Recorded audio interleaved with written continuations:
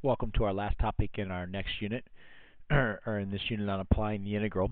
In this unit, or in this topic, what we're going to do is we're going to take a look at finding the volume of a solid shape that's formed by cross-sectional areas to a shape that's in the xy plane.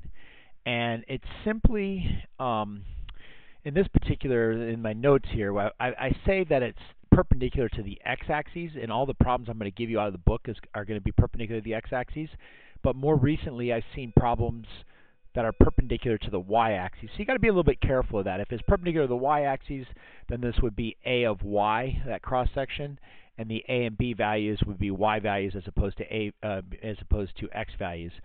What happens in this, and I got some drawings for you. It's a little bit hard to visualize. Is you take a uh, a graph in the xy plane, let's say a circle. We're going to deal with a circle in a few moments. Let me say a circle or a parabola or something like that and we're going to connect the sides of the circle by using uh, rectangles, or we're going to use squares, or we're going to use semicircles, or we're going to use um, equilateral triangles. And the whole key is writing this area right here. Generally, the A's and B's are easy to find. It's writing that area. And sometimes this area is given to you as a formula. Sometimes it's going to be an odd shape. Um, but usually this, these all these problems are generally connected, and we'll look at in class a couple AP questions where, you know, part A is find the area between the curves, part B is spin around an axis um, using you know disc or washers, and part C is find the volume by using cross sections. So this makes you know put all this stuff, all these topics, these four videos together, and and we can come up with one good AP question. So let's take a look at some examples. It's this area that changes. you got to be careful of that. Any geometry areas that you need, I'll give you, like if you need the area of an equilateral triangle. Um, I expect you know the area of a semicircle. And those are some of the common ones. So in my example here, this is what's happening. Again, a little bit hard to visualize three dimensions. This is supposed to be a circle, but because of my window, it's a little bit off. It's supposed to be x squared plus y squared equals 16. And what I'm doing is I'm drawing equilateral triangles. This is supposed to be a three-dimensional equilateral triangle that's coming out of my Promethean board at you, or out of the video at you.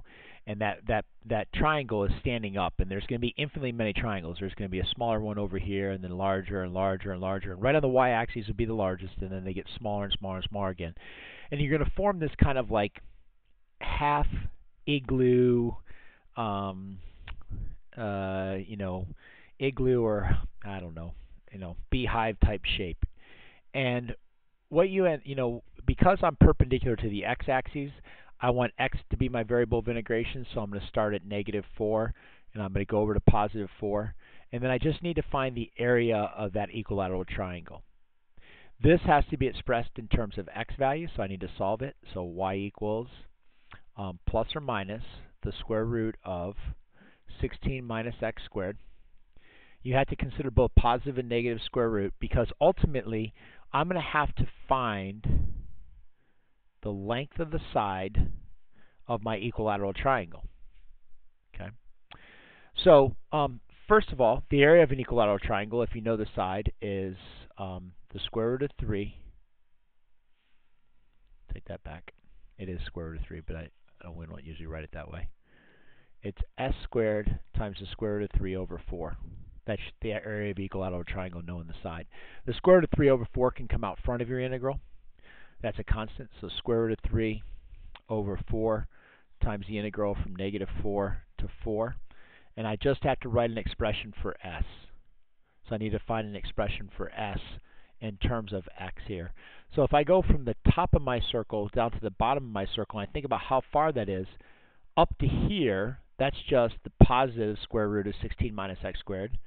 This is down to the negative square root of 16 minus x squared. So this whole side right here is going to be 2 times the square root of 16 minus x squared. And because it's squared here, it's squared there, dx. Um, again, don't worry about integrating them by hand. Uh, we'll do it in our calculator. Just be able to set up the integrals, uh, and that and that's good based upon now every one of these problems this is a little bit confusing at first because you have a hard time like visualizing what it is and all that stuff but every one of these questions is exactly like this So it's done the exact same way. The only difference I would have if these equilateral triangles were perpendicular to the y-axis is I would have solved this for x equals in terms of y, because y would need, need to be my variable of integration. We'll look at those in class a little bit because I don't have any example of those.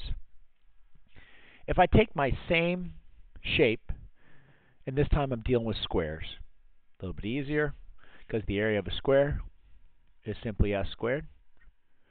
It's the same circle. I know it's kind of you know elongated because of my because of my picture, but it's the same idea. If I solve it for y again, plus or minus the square root of 16 minus x squared. Again, I just need to know the side of the square, the length of the side of the square. I'm still integrating from negative 4 up to positive 4. And it's going to be 2 square root of 16 minus x squared squared dx.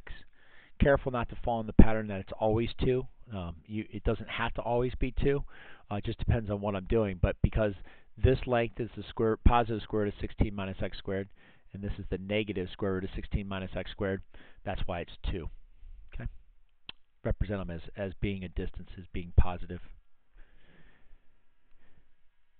And then my final example, what I have is I have semicircles that come out. And this, um, these semicircles, you know, you add them up. This time I just need the radius. So the distance of the radius is from this center out to the circle.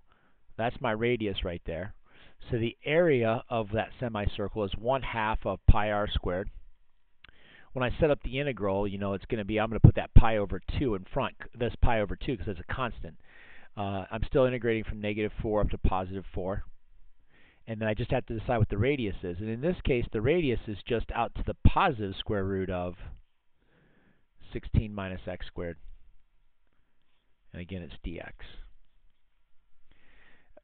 Um, the only thing that would change if it was perpendicular to the y-axis is y is your variable of integration. You have to solve the equation in terms of y and then logically use your, you know, it, how far is it away from the y-axis as opposed to the x-axis.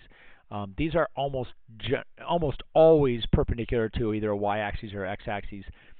They never give it to you like perpendicular to the line x equals 2 or y equals 1, that kind of stuff.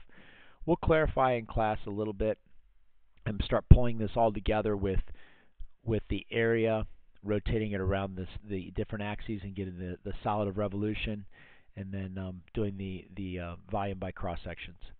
So good luck on the, on, on the uh, assignment, and we'll see you tomorrow.